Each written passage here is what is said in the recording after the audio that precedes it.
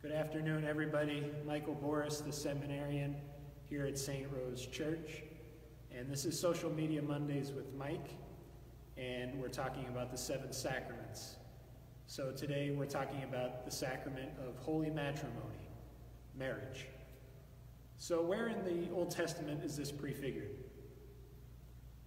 God is the author of marriage. It is God who has given us the gift of marriage and brings about the graces through the sacrament of marriage. So, where in the Old Testament do we first see this? It's one of the very first things we see in these scriptures. God created man and woman, He created them for each other. Remember, Adam was created and felt lonely, so He gave Adam a partner, gave Adam somebody who could be his companion. And Eve, of course, as woman, is the perfect match for Adam, and help, they help bring about this perfect union. So that's where we first see it in the book of Genesis. Think of uh, the book of Exodus, and really throughout the entire Old Testament, how the, uh, the Israelites, the Jewish people, came across a lot of polygamy, where they were marrying many people. This was in within Israel, Israel itself. Abraham had uh, several wives, and, and, so did others. Um, but that was never God's vision from the beginning, as we see in the book of Genesis, when God created Adam and Eve. Nor was divorce in the picture. Recall that uh, Jesus in Matthew's gospel said to the Pharisees, Moses permitted divorce in the old law because of the hardness of your hearts, not because it was the way it was supposed to be. Jesus himself said that, and he's pointing back to Adam and Eve as being the true purpose of marriage for man and woman to be together forever when they make that commitment to each other. There are several prophets that discuss the image of marriage of man and woman, similar to the marriage of God to his people. God made a holy covenant with his people, and the Israelites are to respond to that. Uh, just as an example, we have the book of the prophet Hosea, which is not very well known. But here's what Hosea says about this image of God and his people, as well as uh, man and woman, how they, the two images help each other. On that day you shall call me my husband, says the Lord, and you shall never again call me my Lord. I will remove from her mouth the names of the Baals. They shall no longer be mentioned by their name. I will betroth you to me forever. I will betroth you to me with justice and with judgment with loyalty and with compassion. I will betroth you to me with fidelity, and you shall know the Lord. So the commitment of the Lord to his people is the same commitment that married couples are called to. And this is a great image found in the Old Testament scriptures.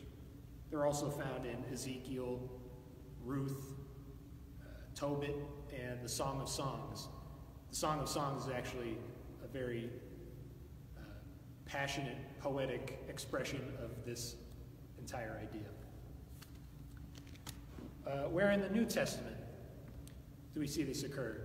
Jesus' first public miracle, according to John's Gospel, is at a wedding, the wedding feast of Cana. So the church sees that as an image of Jesus' sanctification of marriage and why it's ultimately a sacrament, uh, and why all baptized Christians are called to that sacrament. Uh, well, baptized Catholics in, in the fullness of the Catholic faith are called to that sacrament. I'm going to pick up the Bible again.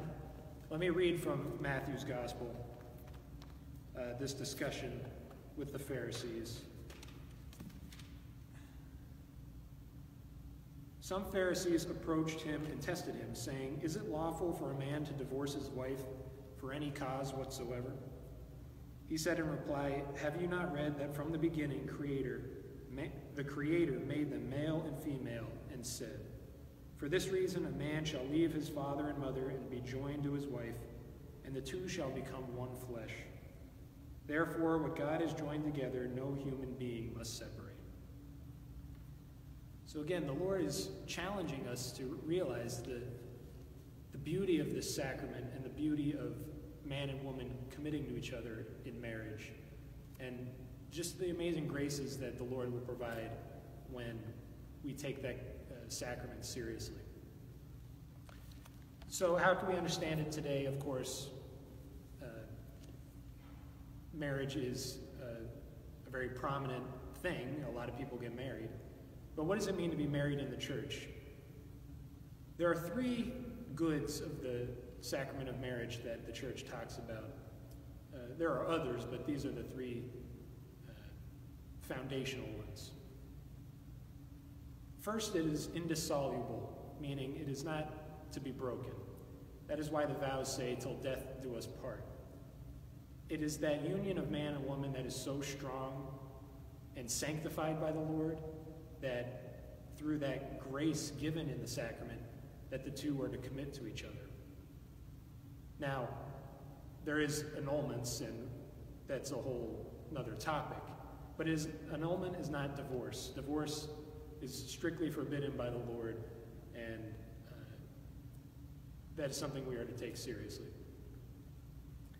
The second good of marriage is fidelity and the unitive aspect of the two committing to each other, being faithful and not uh, going about going behind each other's backs, uh, committing adultery, for example, that's just one example, but also being faithful in their love to each other and in building each other up. Uh, this is a great good of the sacrament.